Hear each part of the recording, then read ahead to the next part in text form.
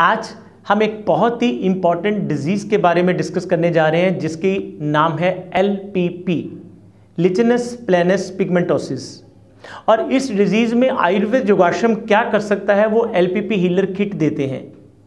और आमतौर पर, क्योंकि एल पी पी बारे में काफ़ी बार आगे भी बोल चुका हूँ अलग अलग वीडियोज़ में, आज मैं बात करूँगा सिर्फ़ इस किट के लिए कि इस किट में आखिर है क्या।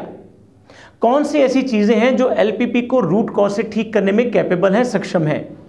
तो पहले बात करेंगे, इस किट में हमारे पास टोटल चार प्रोडक्ट्स अवेलेबल हैं। उसमें से सबसे इंपॉर्टेंट प्रोडक्ट का नाम है A Z Derma A Z Derma एक ऐसा प्रोडक्ट है जो कि हमारी बढ़ी हुई पित्त और कफ को खत्म करता है। इसके अंदर लगभग हमारे पास 28 इंग्रेडिएंट्स होते हैं हर्ब्स के, जिसमें से सबसे जो पहला और इंपॉर्टेंट हर्ब होता है वो मंजीट होता है।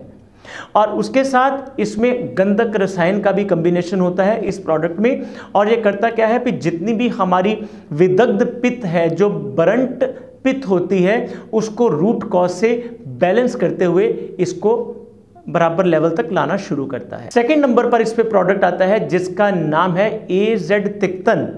ये एक तिक्त रस का द्रव्य के कम्बिनेशन होता है। जितने भी हमारे, क्योंकि एक आयुर्वेद में एलपीपी जो है, कुष्ठ के अंदर आता है, एक स्किन की एक कैटेगरी है कुष्ठ, और उसके लिए ए जेड तिक्तन की सबसे ज़्यादा इंपॉर्टेंस होती है, क्योंकि वो हमारे अंदर से जो अग्नि है, उसके मांदे को बराबर करते हुए इसको कवर करता है।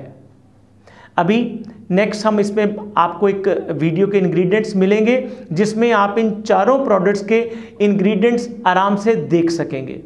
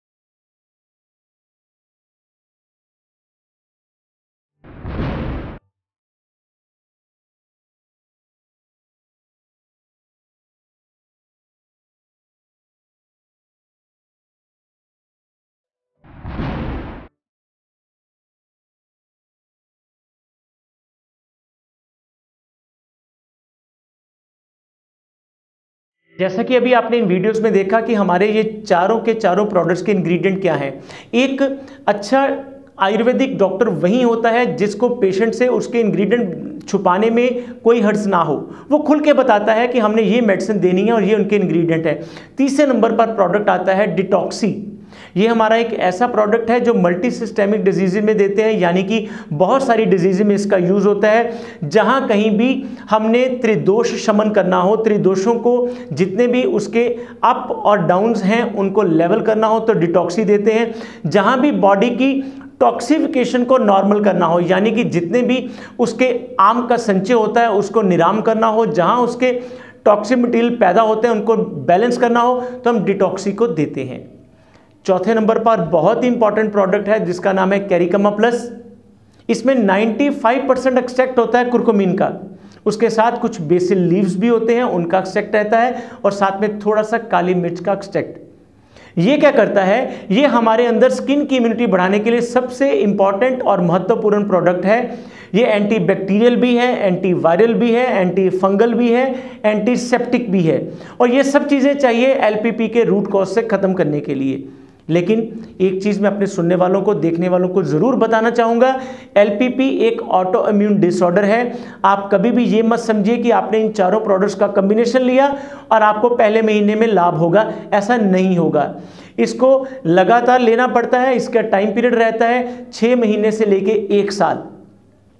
और जितनी भी ये मेडिसिन हैं कैरिकमा प्लस आपने एक सुबह और एक शाम लेनी है। डिटॉक्सी दिन में तीन बार लेनी है एजेड डर्मा दिन में तीन बार लेनी है एजेड तिक्तन दिन में तीन बार लेनी है। और ये सारा का सारा जो कम्बिनेशन है, हमारी एक महीने की पैकिंग के हिसाब से ही होता है। यानी कि एजेड तिक्तन डिटॉक्सी और एजेड डर्मा नब्बे गोलियों की और कैप्सूल्स की पैकिंग में आते हैं और कैरिकमा प्लस सिक्सटी कैप्सूल्स की पैकिंग में आता है।